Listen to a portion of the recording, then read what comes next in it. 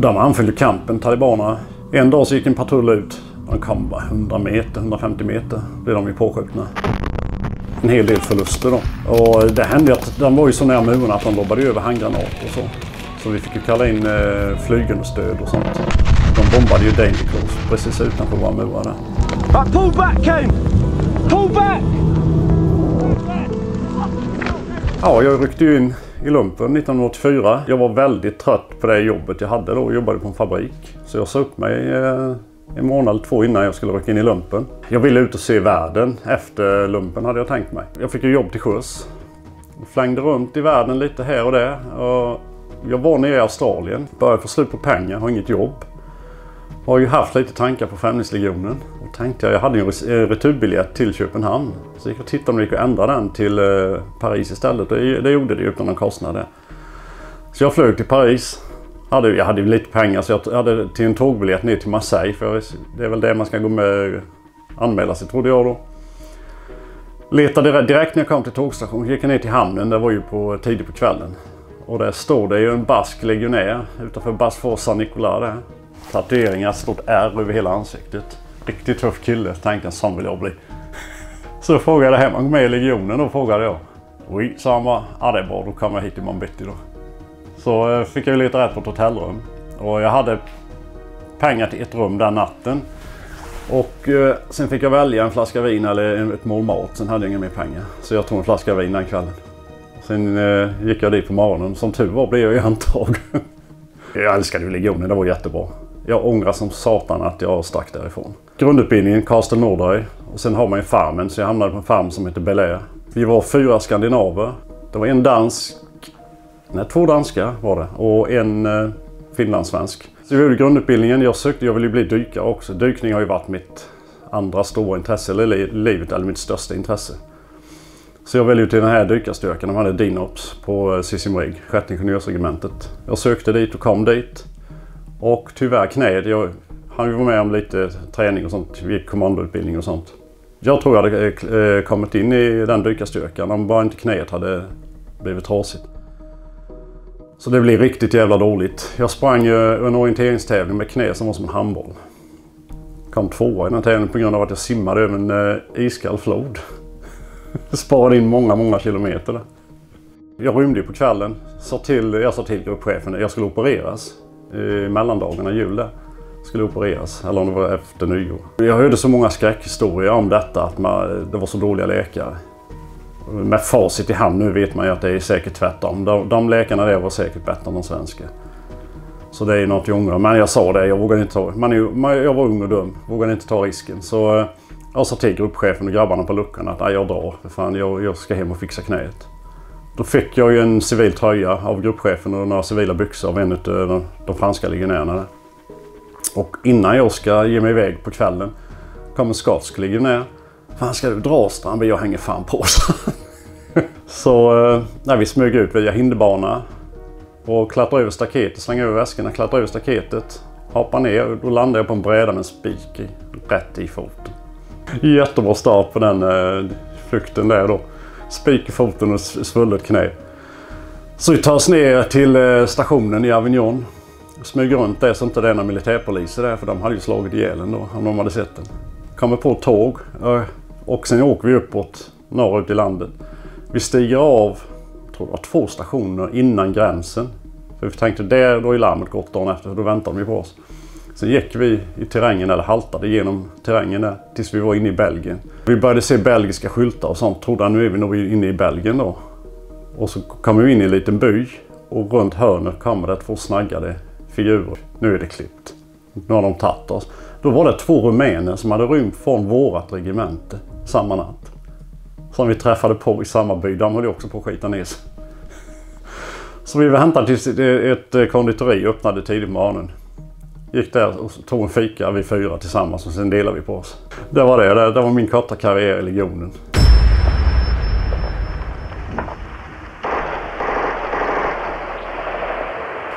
Natten till den 17 deadline, Gulfkriget Desert Storm, var ju den 15 januari. Saddam hade ju på sig till dess att dra tillbaka trupperna, han vägrade ju. Natten till den 17 anföll ju de allierade. Vi gick ju bara och väntade då. Jag brukade löpträna på campen i Nakura, det är Libanon, med fransmännen på morgnarna då. Jag hörde ju den eh, tidigt på, på natten då till den 17 att de fransmännen började gapa. Ja, då drar jag ju på mig mina shorts. Och man hör lyssna. Vad fan säger fransmännen? “Alert de gas, alert de gas. Ja, det är något som inte stämmer. Och sen gick ju gaslarmet igång. Så jag bara bankar ju. Det var ju container med två, eh, tre rum i varje container. Två, två eh, soldater i varje rum då. Så jag bara bankade ju på väggen. Tog på mig uniformen och gasmask och allting då. Jag hade förberett eh, eh, täta bunkrar, sånt som vi hade tätat mot, mot gas och sånt där. Då. Ja, det, det, var lite spökligt. Mörkt och dimmigt och när alla kom med gasmasker, skyddsmasker och började gå mot bunkrarna. Vi hade ju en kille som saknades när vi väl kommit in i bunkern. Så jag och någon gick tillbaka och letade efter han. Då lägger han, då har han ju tagit sig lite pilsner på kvällen där. Så han sitter på golvet och försöker på sig byxorna. Så vi skrattar så tårarna rann alltså. Men vi fick på honom både skyddsmasken och uniformen bort med honom i, i sheltret där. Eh, två killar tog ju autoinjektorn i, i låret. Och blev ju sjuka som satan och fick ta oss till sjukhus i Israel. och sen indikerade några i vaktpluton också. De hade ju den där lackmuspapper typ. Hade ju indikerat gas men de hade väl lagt det på någon bensindroppe eller någonting. Så det var ju aldrig någon gas som tur var. Jo, jag var också på utbytestjänst med eh, norrmännen, norska bataljonen, på båda de här. Eh, då fick jag ju skriva på papper att jag lovar på heder och samvete att jag ska inte gå ut på några ambushpatruller på nätterna och sånt här. Och det höll jag ju inte, det löftet. Så jag var ju ute varje natt. Jag var ju frivillig varenda natt på de här patrullerna. Norrmännen hade ju lite mer livat än svenskarna. Så det var ju det var lite action där uppe. Eh, när jag anländer till norrmännen eh, kommer precis burit in ryggsäcken i en primitiv patrullbas i ett gammalt övergivet hus där som vi bodde i. Då går ju larmet att två andra soldater är under eldstrid då.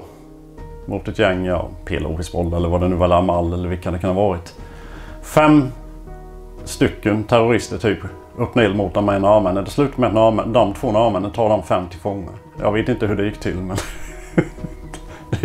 det löste sig ganska bra. Vi hamnade ju lite trubbel. Eh, med, vi var utanför FNs område faktiskt i en by som hade begärt hjälp. Vi gick ju på en patrull in i byn. Rätt som så hoppade det fram en massa med vapen. Satte de piporna mot skallen på oss på alla sidor. Det var jag, och vi hade en jeep. Det är så vi var fyra man eller något. Så eh, den norska gruppchef som var med, en, en ung eh, kille, Björnenak, Jag har fortfarande kontakt med han. Jättebra grabb. Han var ju så kylig. Vi andra vi vi, jag höll på att skita ner mig. Jag, gick med dem, jag hörde hur de osäkrade vapnen när de gick bakom oss. Så jag lutade mig på ena sidan och tänkte att jag satte avtrycken på automat. Att drar jag i backen så måste jag ju ta någon med mig. Det var den enda tanken jag hade. Vi kom ner till bilen. Han eh, norske björnen, han var så kylig. Han bara tog i radion. Ja, det, det här gutter det vill icke vi ska vara det här. Och han stod, han var helt röd i ansiktet, deras ledare. Han stod på en gallskrik och satte pistolen mot eh, huvudet på han norrmannen. Han har ju sändaren på till norska hög, högkvarteret hela tiden. Ja, ni hör ju hur galna de är. Han bara skriker. If you don't leave I will kill Ja, till slut. Han får ju oss dödade nu den här Fänriken. Men till slut satte han sig i bilen. Hoppa in Gutte, sa han, så hoppade vi in. Usch, andas man ju ut. Jag tänkte så började vi köra ut, upp på kullen där. Och för han järnet upp på kullen och sen tog vi eld, eldställningar där uppe. Nu jävlar ska vi ge dem. Jaha. Men då var man så jävla taggad och förbannad. Och de sprang emot oss det här gänget. Så eh, det var ju första gången man låg i anläggning med AK4 då. Norska förstärkningar kom ju. Allting lugnade ju ner sig.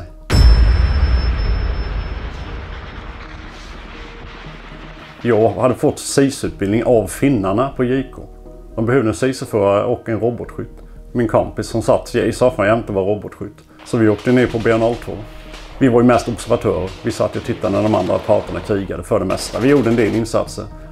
Räddade ett par unga grabbar från att lynchas och lite annat. Och sen blev det Björn 04. Åkte ner som eh, gruppchef på pansarsskytte. Då hade vi massakern i Srebrenica. Eh, en hel del artilleribeskjutningar mot oss. Bland annat Tango 18. Där fick vi in två granatträffar i traktorn och eh, de förstörde lite av vårt skithus där.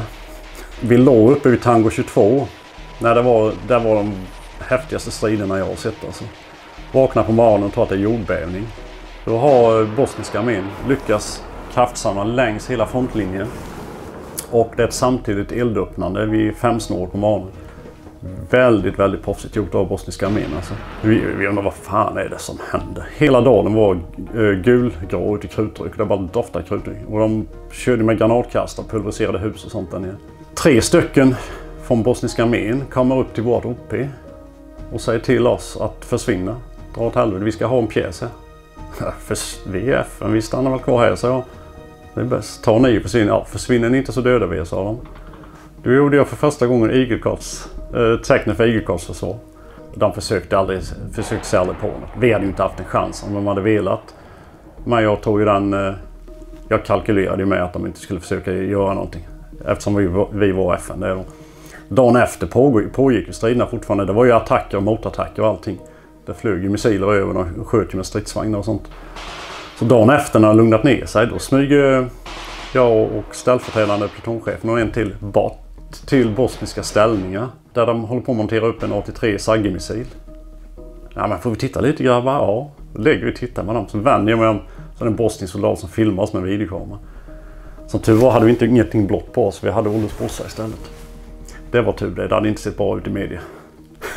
Right here. Don't. Let's shoot, dudes. På Afghanistan-missionen där fick jag ju nys om det här med contractors. Och fick via det en intervju. Åker hem. Eh, Får ett telefonsamtal. Ja, du måste vara på flygplatsen här i övermorgon. Skulle flyga till Houston, Texas. Jag åkte ju dit. Jag fick biljett och allting. Eh, då skulle vi till Department of Defense, Houston. Och de skulle ta alla våra biometrics och allt sånt där. Då fick vi amerikansk security clearance. Amerikanska arméns ID-kort. US Army Contractor. Ner till Irak. Och det var ju betydligt otäckare än alla de andra konflikterna tidigare då. Det var ju han, Musab al-Sakawi, kidnappade ju västerlänningar och ska ska ha huvudet av dem och det var mycket sånt. Så fort Al Jazeera dök upp i närheten visste vi att nu hände det någonting. De hade tydligen jättebra samarbete, Al Jazeera och eh, terrorgruppen. För de, var ju, de dök upp så lämpligt på olika platser. Eh, vi eskorterade ju konvojer från Kuwait upp till Talil Nasiriyah. Vi hade klienter, vi var baserade i Basra International Airport. Där hade vi klienter som hjälpte till med återuppbyggnaden då. De byggde, eh, byggde upp vattenverk, reningsverk, kraftverk, eh, lagade den här oljeanläggningen och allting sånt. Mycket roadside-bomber mot oss var det. Eh, så det var ju folk som strök med. Vi skulle bara åka ner på ett enkelt jobb ner till gränsen och hämta några klienter. Svänga Svänger ut mot Tampa som den stora motorleden hette. Då är det en konvoj som precis har blivit attackerad roadside-bomber och eldgivning. Det brinner och ryker i fordonen och de ser ju oss. De vinkar ju fram oss. Det är ju andra contractors som står på vägen där då. Så vi får kryssa fram mellan brinnande bilvrak. Och frågan om de behöver hjälp. Nej, vi fixar detta, sa de. Så vi fortsätter ner mot gränsen. Och när vi kommer till korsningen, när man svänger av mot själva gränsen. Vägen går ju rakt fram ner till Umkasara. Bara ett par hundra meter längre bort så är det en brittisk militärkonvoj under attack. Fullt med terrorister ligger och skjuter på dem. Och en eh, Chinook helikopter landar med marinsoldater som rusar ut i helikoptern för att hjälpa till där. Och jag tänkte, oj, här var det lattjo. Så vi svänger av höger, möter en röd bil i full fart mot oss som håller på att köra in i oss nästan. Tänker, tänker ingenting på det. Det var terrorister i bilen också. De hade kört ner till gränsposteringen och öppnat eld. För att inga undsättningar skulle komma till den andra eldstriden som pågick. Så vi kör fram till gränsen och eh, våra klienter kom ju över. Det här är ju civilister, ingenjörer och sånt. De var ju lagom taggade på att åka in i Irak när allt detta pågick. Så vi, vi måste ju ta en annan väg tillbaka. Vi kände ju till vägarna där då genom öknen. De var ju på sina telefoner. Så vi kör en bit, stannar, jag öppnar dörren, kliver ut, trampar så nära, så nära en eh, mina. Då hade de minerat framför oss. Ett annat gäng hade, hade ju varit också utsatta och blivit kidnappade av irakisk polis. Poliserna där nere, är ju, de är med i någon utav terrorgrupperna, alltså samtliga poliser. I, I stort sett. Kidnappade ett gäng. De hade inte fått vapen eller någonting. De kom precis över gränsen. Polisen bara tar dem. Kör dem till polisstationen i Azerbaj. De inser ju vad som är på väg att hända. Så de övermannar ju poliserna där. Får väl dö på en polis och de öppnar eld mot de här britterna då. Men de tar över bilen och kör iväg. Då befinner jag mig nere vid, med ett team med klienter. De vet inte om att vi är i området. Men de, så de gömmer sig i ett dike sen. Men eh, ett par av dem håller på att blöda ut. Så han som inte var skjuten fick ta sig upp på vägen då. Flaggade ner en irakisk bil och hotade föraren. Så han körde han till Shaiba Logbase, britterna. Så de skickade en undsättningsstyrka där. Då. Och fyra andra västerlänningar blev kidnappade också. Ja, en sköts i Österrike, han var skjuten på vägen. Han låg där. De andra, en hittades flodd. En hittades eh, ihjälbränd och En hittades sönderbarad med en borrmaskin senare. Det var mycket sånt där nere. Vi hade ju irakiska ingenjörer som jobbade med våra klienter. De kidnappades ju, torterades ju och dödades ju. Bara för att de arbetade med britter och amerikaner. Då. En av dem bor i Sverige då. Han var den, den enda överlevande. Så jag fick ju gå i, gå i god för han att hans historia var sann. Då. Det var en advokat som kontaktade mig. Så han fick ju stanna. Whoa! There's a fire now! Sen åkte jag tillbaka till Afghanistan åt Army Group. Brittiska FCO-kontraktet. Och det är ju det bästa jobbet jag haft där nere. Helt suveränt jobb. Jag var ju där sju och ett halvt år på det kontraktet. Började med en månad i Kabul. Då var vi kontrakterade till brittiska ambassaden.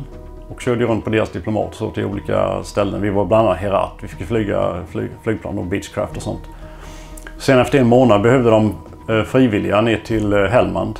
Till, till brigaden där nere. Alla sa ju det. Nej, det är ju helt vansinnigt. De skjuter på en varje dag. Man får bo i en bunker och det är helt livsfarligt. Så jag och en, eh, en av mina kollegor, John Lindley, vi var ju frivilliga där då. De flyger inte oss direkt till eh, Lashkagar. Detta är ju sent på kvällen. De flyger oss till pågående strider. Landar mitt i striderna. För de ska lasta på lik. Afghanska soldater och några brittiska gurkasoldater flög med oss. För det var ju deras kamrater som låg döda då. Som följde med helikoptern till, till Lash där vi lastade av. Så jag stannade i Hellman i sex och ett halvt år tills brigaden avvecklade där och då flyttade vi upp till Kabul igen. Här kom jag som enda svensk och får förtroendet sen att bli livvakt åt chefen där nere. De frågade om jag var intresserad för det var en kille som slutade då. Så vi var ju två man som delade på det jobbet. Sangin var ju en historia för sig själv. Dödligaste platsen i Afghanistan sägs det för både britter och amerikaner. Där har jag tillbringat, tillbringat en hel del tid. Vi utgick ju på patruller där. Vi gick och tittade på skolor och det ena med det andra. Vi hade ju alltid beskydd då. Det var ju blandat. Amerikanska marinsoldater och brittiska, brittiska armén då. Det var two para. Eh, fallskärmssoldater då och eh, Royal Irish som var förlagda där. Vi kom mellan 200-400 meter från, eh, från våra murar. Sen small det i regel. Soldaterna var jätteduktiga. De tog ju striden. De hoppade of, of, ofta upp på hustaken. För att kunna jobba sig vidare därifrån då. Vi hade ju strikta regler, vi som var livvakter. Att vi får inte blanda oss i strider. Vi får inte utsätta oss eller klienterna för fara. Utan klienten ska ju skydd illa kvickt. Men de var ju underbemannade soldaterna. Så jag gick ju ofta som top cover på fordonen. In med klienten i en bil om vi hade det. Det var inte ofta, ofta var det fotpatruller. Men hade vi fordon så gick jag ju alltid som top cover. För att avlasta soldaterna då. De anföll kampen, talibanerna. En dag så gick en patrull ut. De kom bara 100 meter, 150 meter. Blev de ju påskjutna. Ehm, en hel del förluster då. Och det hände ju att de var ju så nära murarna att de lobbade över handgranater och så. Så vi fick ju kalla in eh, flygunderstöd och sånt. De bombade ju Danger Close precis utanför våra murar där. David Cameron kom ju på besök när jag var där i Sangin. Innan han var premiärminister. Han höll ett tal på Fire Support eh, Group, byggnaden där uppe på taket. Då är det strider i bakgrunden. De pangar på som satan. Där står han och håller ett tal.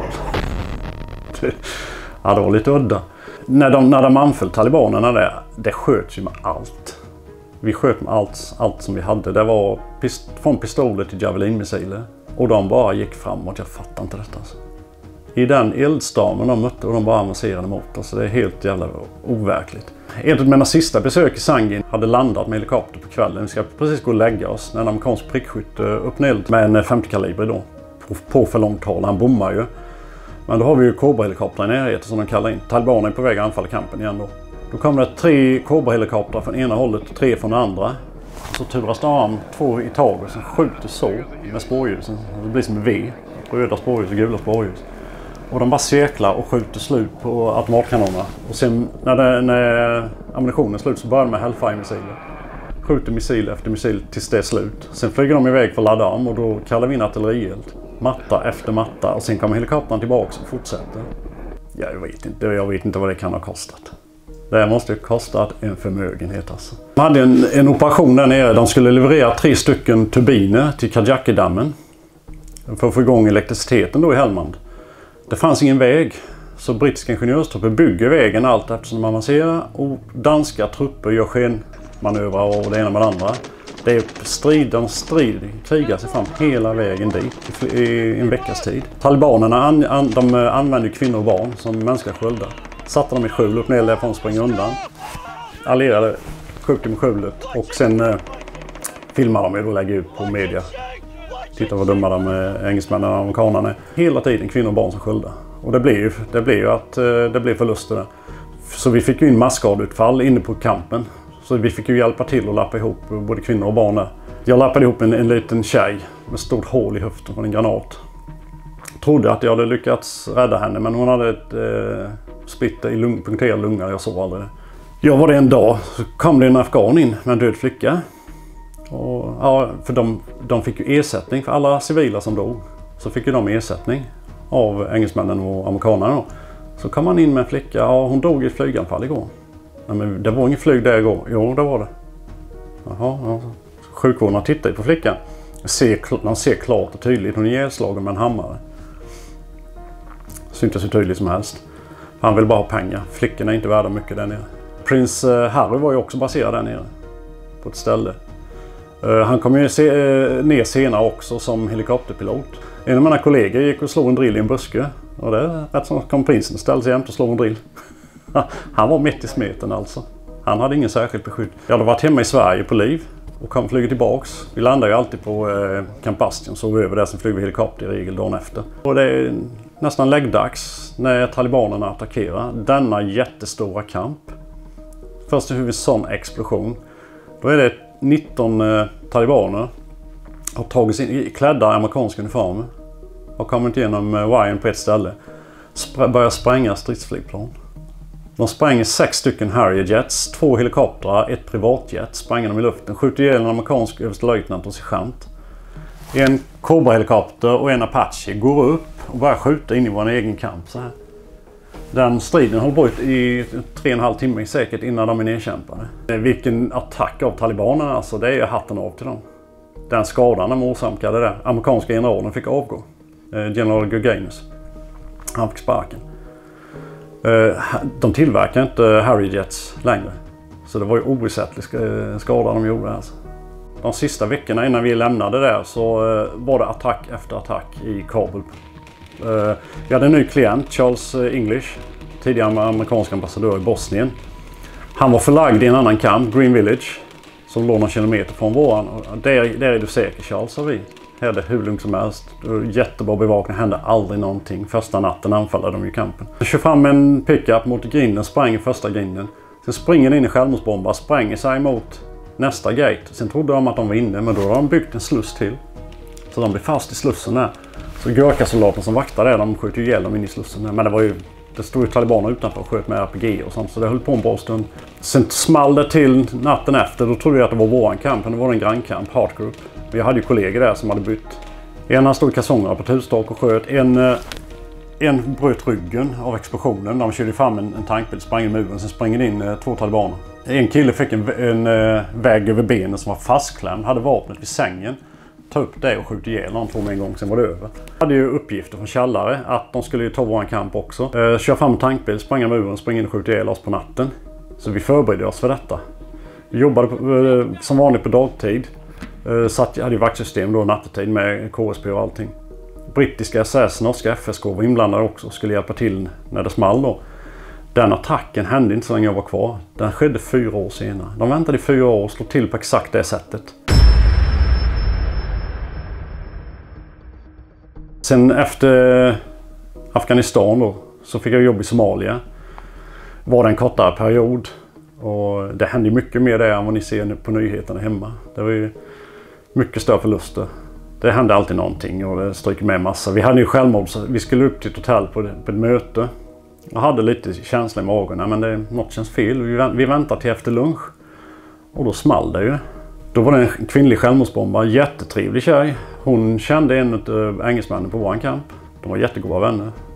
Men hon, hon var ju, hade ju radikaliserats tydligen när hennes man hade dött i en bilolycka. Så hon hade fått jobb på hotellet, jobbade i receptionen där. Lärde känna alla och sen när hon varit där ett tag så slutade de ju genomsöka hennes bil och körde in där. Då tog hon in bomberna och sen small det. Sen fick vi uppgifter om att eh, några journalist, journalister skulle kidnappas och avrättas i ja, direktsändning då typ. Så vi fick plocka ut dem. Det var ju ett snabbare jobb. Eh, gjorde det ganska snitsigt där. Det var jänkarna, eh, amerikansk militär, som fick jobbet först. Hade inte tid så vi fick ta det. När vi åkte och plockade dem på hotellet, tog dem till campen, satte dem på ett flyg. Det var svenska ambassadören då. Han fick se till att eh, tre andra fick gå av flyget så de här tre fick hoppa på och flygas ut ur landet illa kvickt. Så jag hoppas de bjöd honom på en whisky efteråt. Efter det så var jag tillbaka i Irak då, 2015-2016. Då när IS höll på som väst. Då var jag gruppchef för irakiska livvakter. Så utbildade de. Jag fick ofta ta hand om problemteamen också. De kallade mig Haji där nere. Den gamle mannen. Det hände en del otäcka saker där. Bland annat andra irakiska anställda vi hade eh, misshandlade en av mina kollegor något så vida pass en gång. Alltså Schlumberger-incidenten där. Det var ju shia-muslimer vi hade anställda. Och eh, profeten Hussein som de följer då. När det, det är hans födelsedag, då sätter de en bild på han i fordonen. Och det gjorde de i våra fordon. Bepansrade fordon med klienter. Då som klient till en av mina kollegor, det var bara de två som var på hela kampen. Resten var irakier på den kampen. Du, du måste plocka bort den här bilden för annars kommer den här Sunny och skjuta på oss. Vi kan inte ha sådana bilder i våra bilar. Så han plockade bort bilderna och då skulle de slå ihjäl honom bara för det. De slog nästan ihjäl honom. Det var bara ett köttstycke kvar. Fina, fina kollegor. Men många av dem var ju, många av dem var ju bra. Speciellt det teamet jag hade sen. Det var jättebra grabbar. Det var mitt sista år som eh, contractor. Eh, lönerna sänktes bit för bit och sen ersattes vi av östeuropeer. Och sen har en del klienter då hört av sig och varit helt förtvivlade. Men de är säkert ett bra jobb de också. Nu är det lite lugnare.